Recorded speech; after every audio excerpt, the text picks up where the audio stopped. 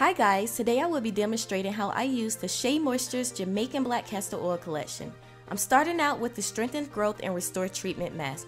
This mask is ideal for damaged, brittle, and chemically treated hair and it has a ton of slip. It smells so good y'all.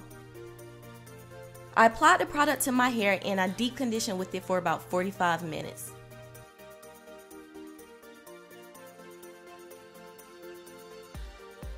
Next, I will be using the Strengthened Growth and Restore Styling Lotion as my leave-in. This product has a ton of slip and I'm sure the castor oil has something to do with it.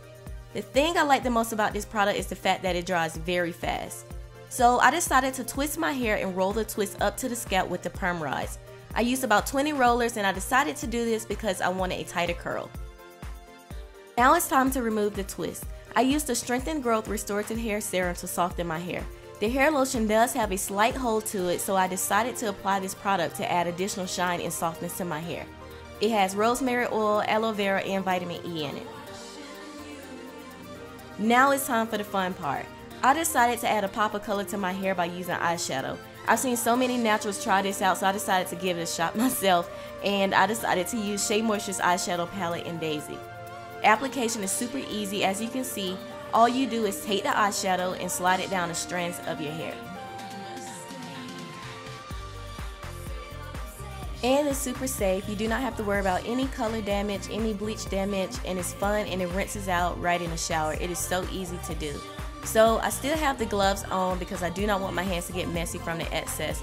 And basically you just continue to do this until you get all the excess product off so it doesn't flake off on your clothes. I didn't have any issues with, you know, the eyeshadow coming off on my clothes. So now I'm going to use the Strength Growth and Restore Edge treatment and it does a great job with smoothing my edges. It has a very light hold and I'm just smoothing it in to give it a nice shine because I'm getting ready to style my hair.